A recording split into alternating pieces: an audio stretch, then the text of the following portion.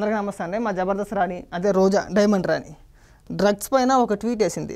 దొరికిన డ్రగ్స్ వెళ్తున్నది మీ సన్నిహితుల కంపెనీకి కొంపతీసి అందులో మీ పాత్ర కూడా ఉందని ఏమైనా భయపడుతున్నారా? చంద్రబాబు నాయుడు గారు అదే లోకేష్. తెలివిగా దాన్ని ఏపీ ప్రభుత్వంపై నెడుతున్నారు అయినా ప్రైవేట్ కంపెనీ పేరుతో వచ్చిన దానికి ప్రభుత్వంతో సంబంధం ఏంటి? ప్రభుత్వంతో సంబంధం లేనప్పుడు ప్రభుత్వ అధికారులు అక్కడికి ఎందుకు వెళ్ళారు? అడ్డుకునే ప్రయత్నం ఎందుకు చేశారు?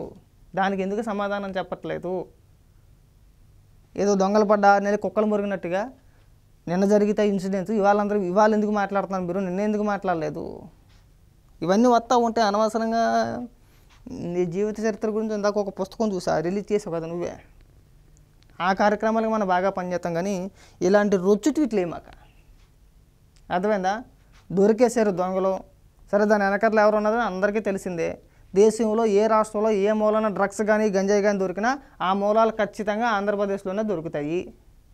నిన్న మొన్నటి దాకా కూడా మీరు అధికారంలో ఉన్నట్టు ఇప్పుడంటే ఎన్నికలు కూడా వచ్చింది కాబట్టి చెప్పిన ఎక్కడ కూడా డ్రగ్స్ దొరికినట్టు కానీ గంజాయి దొరికినట్టు కానీ ఏపీలో అయితే ఆ వార్తలను వెళ్ళ చాలా తక్కువ అరుదుగా విన్నాం. అర్థమైందా? ఇప్పుడు ఎన్నికల కోడ్ వచ్చిన తర్వాత రోజు పేపర్ తిరగేస్తుంటే ఎక్కడో ఒక మూల ఆంధ్రప్రదేశ్లోనే గంజాయి దొరికిందనో డ్రగ్స్ దొరికిందనో ఎక్కడో ఒకటి పేపర్లో వార్తలు చూస్తూ ఉన్నాం. అంటే ఇన్నాళ్ళు పెంచి పోషించింది మీరే. ఇప్పుడు దాకా రాని వార్తలు ఇప్పుడు దాకా లేని వార్తలు ఇప్పుడే వస్తున్నాయి అంటే దానికి కారణం ఏంటి?